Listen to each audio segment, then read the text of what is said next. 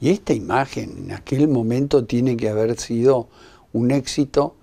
La chica, la modelo, la señora, cubría diferentes roles. Era una modelo muy pedida, muy exigida, muy pintada y muy enamorados muchos de los que la rodeaban, muy.